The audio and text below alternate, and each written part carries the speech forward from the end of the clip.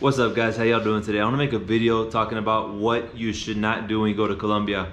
Some of these things on the list are kind of obvious to me, but I lived in Colombia for many years. But saying that, these things might not be that obvious to many people. The first thing that I would recommend, don't wear flashy stuff, all right? I'm talking about very nice watches like Rolexes, Cartier, all that jewelry, necklaces, expensive earrings, whatever may be uh, designer clothes, suits, all that good stuff that you might wear back in New York or Miami or whatever, wherever it is you're from or your home country. But in Medellin, Colombia, you don't wear flashy stuff. You don't flaunt your stuff. You don't act like you're, or if you're wealthy or rich, you don't show that you're wealthy or rich, or you don't act like you're wealthy or rich. Okay. Even I have friends, Colombian friends, who are super wealthy, but you won't see them walking around, and they can afford it. They can afford the nice watches, the Rolexes, that kind of stuff but you'll never see them walk around that. You'll see them in the streets and you'll never, you won't even realize that they're wealthy. All right, because in Colombia, you you dress down, you blend in. You gotta blend in. So that's the first thing. Just dress down, but at the same time, you don't want to dress like a bum. All right, so there's backpackers who've been back who backpack in the the world, live eating out sardine sardine cans, uh, having one backpack, uh, wearing the same clothes day after day, not maybe not washing or whatever. You know, I'm talking about like the the extreme backpacker people, which hey, if you're that way, that's fine. That's totally cool. But you're gonna stick out like a sore thumb because hygiene in Colombia is very important.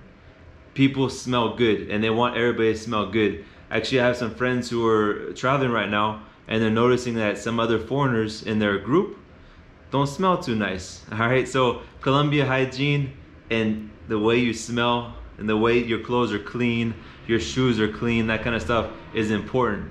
But you don't want to flaunt, be flashy, if that makes sense. All right, guys. So I hope I hope I'm making sense. Let me know in the comments if I'm making sense. The next thing is, uh, and it goes to wearing clothes. You want to dress like a local. You want to be like a local. So definitely don't wear shorts, sandals, tank tops around Medellin, Colombia. Nobody dresses that way in the streets. Nobody goes out of their house with their shorts or their tank tops or especially sandals, okay? The only time that could pass is on Sundays because Sundays in Colombia is actually like the the official unofficial sports day. Like to do sports activities outdoors. Many people will go to the park to the stadium. It's an outdoor activity day. So yes people wear shorts people wear sh shirts or tank tops to do physical activity. They won't wear sandals though they won't be wearing sandals and the reason why people in Colombia, especially in Medellin, Colombia, don't wear sandals is because it goes back to the hygiene, right? You're at, you're at a restaurant, you're eating your food, you don't want to see another person's toes sticking out and just walk around with your feet open to the elements is not it's not a Colombian thing to do, especially in Medellin. Where you can wear sandals, where it is, I guess, common, is at the pool. If you go to a pool party, you can wear sandals, you can wear a bathing suit, you can wear a tank top. So either pool or the other place you, you wear shorts, like if you're walking in the streets, you're wearing shorts and a shirt like I'm wearing like right now, it's because you're either going to the gym or you're coming from the gym. So think back, I remember when I was a kid, back in the 80s, early 90s, my dad and my uncles, I'm, I'm Hispanic, so Hispanic uh, family, uh, South Texas. So I remember my dad and my uncles never wore shorts. My uncles, they had a ranch, they owned a horse ranch. And I remember the time when they come visit us and they go to the pool, they wear their, their swimming shorts and their legs were so pale because they literally never wore shorts outside. And that's how men were back in the day. You only wear shorts if you're doing sports activities or swimming. Children wore shorts. Or, or, small boys wore shorts back in the day. So that's kind of like how it is in Colombia, especially in Medellin, Colombia. All right, so long tangent on that one. And that's to keep you guys from being a target as an obvious tourist. All right, if you're coming to Medellin, you're wearing shorts, tank top, and sandals, you're a tourist. All right, so don't walk alone in empty areas if you don't know the area.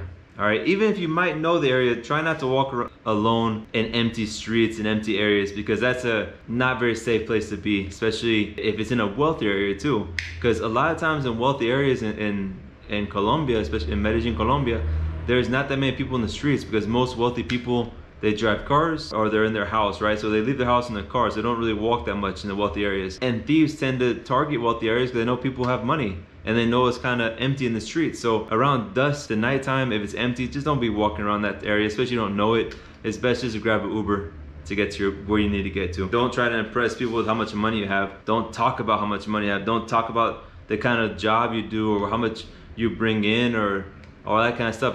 Again, I'm not sure where you're from or the States wherever it is. Unfortunately, in other cultures, it's all about impressing people how much money you have and what, what kind of car you drive, what kind of career you have, that kind of stuff. In Colombia, you don't want to be talking about that kind of stuff. You want to keep it to yourself. If people ask you what you do, um, I mean, you know, you can say what you do, but that, if they ask you, don't be that person. Oh, I'm, I just got promoted. Like, again, majority of people aren't this way, but there are some people who are kind of just need to try to impress other people with what they do and how much they make. Do not use ATMs in the streets. If you want to use the ATM, go into the malls. Every mall has ATMs inside. You go to the ATM, that's the first thing you do. You walk in the mall, you go straight to ATM, pull your money out. Then you go do other things around the mall. You go window shopping, you go to the grocery store, you go buy whatever you need to buy. Do some other stuff first, and then you leave the mall, just to make sure nobody's staking out the ATM to try to see who's a good target, who's a good victim. It doesn't just happen in Colombia, it happens everywhere in the world, but that's just one safety measure you can take. Don't pull money out of the ATM in the streets. There's ATMs in the streets, just don't do it. It's not even worth it. Go to a mall. Don't talk, ask, or make jokes about Pablo Escobar. This is a very sensitive topic. Unfortunately, there's been tourists or foreigners who come to Colombia, or even my friends, people I know who are Colombian who go abroad, and then people ask them, where you from? They say Colombia. The first thing that people ask is, oh, Pablo Escobar. Like when I came here to Brazil, and I, one of my Airbnb hosts, they asked me, yo, where, where are you from? I said, I'm from Texas, but I live in Colombia. Where in Colombia? Medellin ah, Medellin, Pablo Escobar, all that stuff. Colombians don't like that topic. They don't like talking about it. It's not a nice topic to talk about. Like I was saying before, unfortunately, a lot of foreigners and tourists that go to Colombia, they think that Pablo was a folklore hero, you know, like a Robin Hood for the people, and it's not, that's absolutely not true. Many people, many Colombians lost loved ones, uh, close friends, relatives to that time, to what happened back in those, day, those days. So to bring up that topic, especially in a joking manner or making that guy out to be more than he was or better than he, he was, that still hurts, okay? It's almost like going to New York and asking people about 9-11 and joking about 9-11 and making it out to be no big thing. Many people from New York lost loved ones. So, and I have a friend from New York who actually made that comparison, so it makes total sense. So that's the topic you don't want to talk about there are Pablo Escobar tours in Medellin. I think it's just people taking advantage of that, that situation that happened to make money. I've never been on one. I have no desire to go to that one. If you want to do your own research, do your research, but most Colombians don't want to talk about it. The next one I want to talk about is, uh, this is kind of funny. Don't take off your shoes when you go visit Colombians in their homes. Most Colombians, let me know in the comments if this is true. What I know about most Colombians is they don't take off their shoes in their house. And if you do take off your shoes when they go into their house, they're going to think it's strange. I think it's because they, they believe that walking around barefoot or in your socks on tile floor, you can get sick. That's what they believe. That's it. I mean, I know I've always taken, I, I love taking my shoes off when I come in the house. It just feels right to me. But I don't do it when I go visit my friends, my Colombian friends. All right, two more things not to do in Colombia. This next one is, you've probably heard of it, but don't take your cell phone out too much in the, in the streets. I know many people say don't take your cell phone out at all in the streets. And then the question is, well, how can I use my Google Maps or, or get an Uber, that kind of stuff without taking my cell phone out. And that's not entirely true. You can't take yourself out on the streets. You have to be aware of your surroundings. I'm always aware of my surroundings. If you guys see me when I videotape in the streets, I'm always looking around. And again, and I have to explain this all the time in the comments. People was, oh, ah, that dude's so paranoid in the streets. What, why is he so paranoid about? No, I'm that way when I'm videotaping. So I have my camera out like this, you know, and talking to myself like a lunatic and most people who outside of California, I guess LA, uh, don't normally see people vlog in the streets talking to themselves to a camera. So it's not very common, all right? So those multiple things and me giving papaya with my, my camera out my phone, I'm, a, I'm ultra aware of my surroundings in those times. But when I don't have my camera out and I'm walking normal, I don't look around all the time like this, but I do look around. I'm, I'm always scanning my horizon. I'm always looking at uh, my peripheral and every once in a while as I'm walking, I'm always looking behind me to see who's behind me. Not all the time, but every once in a while, if that makes sense. So I know my surroundings at all time. I'm pretty aware of my surroundings. And when I feel that I'm in a good uh, situation where I pull my cell phone out, I do it. But I don't pull it out like a fool or, or a dummy. I don't pull it out and like look at my cell phone like this, you know, having it out like this and, and facing the street. Because oftentimes That's when motorcycles will come out and snatch it out of your hand. That has happened before many times in Medellin where motorcycles just come, they'll see somebody with their cell phone out looking like this, you know, or whatever, and then snatch. They, they, they drive off. So what I do, I'm gonna try to put this, the camera back. Hopefully I can get a good angle. So here's, ah, look. See, I, I can't see myself, but here we go. So here's the, the my phone. It's in my pocket, right? It's in my pocket. So what I do is, here's the street, cars coming by. I'm seeing, I'm, I'm, I'm aware of my surroundings. I don't know nobody's right behind me. So here's the street again. I turn my back to the street. I'm facing the stores or whatever, like the buildings here.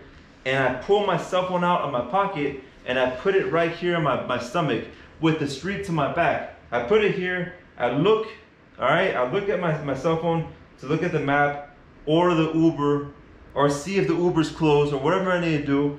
And then I put it back in my pocket and I then, then I then I turn back around. So that's how I keep myself safe when I'm pulling my, my cell phone out. I don't I don't give myself I don't give them the opportunity to make me an easy victim.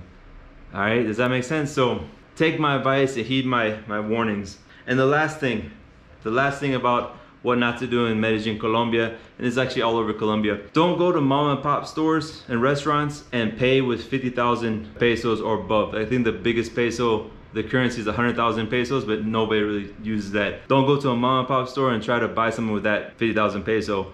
You, are gonna be using 20,000 peso and, and below, and coins even. Learn how to use coins in Colombia. So the mom and pop stores love coins. I had a friend who he didn't understand how to use uh, cash. Using cash is kind of, of a lost art in most countries. In the States, even here in Brazil, use credit card for everything. People forgot how to use the spare change at, to buy things. So my buddy was in Colombia for six months and he literally had a, a bag full of coins that he would just, you know what to do with it. And I said, look, man, give that to me if you're gonna, I'll use it. And I literally used his coins for two weeks to pay my lunches. Lunch in Colombia costs about $2.50 all right, it's about 10,000 pesos. I literally like two weeks paying all in coins. And every time I went to the restaurant, the mom and pop restaurant, they loved me because I paid with handfuls of coins, man. They loved it. That way they can break the, the bills. So if you have 50,000 pesos, large currency, you break those bills in the grocery store, the major grocery store like El Éxito, for example. That's where you go. I don't care if you have uh, smaller bills in your pocket to buy groceries, you pull out those crisp 50,000 pesos and you pay your groceries with those to break it. That's how you do it, all right? So there's the things not to do when you go to Colombia.